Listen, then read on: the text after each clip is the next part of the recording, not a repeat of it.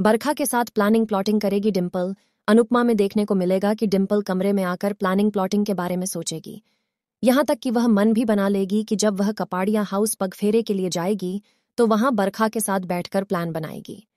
डिपल फैसला करेगी कि बा और शाह परिवार के बाकी सदस्यों से निपटने के लिए वह दिमाग से खेलेगी।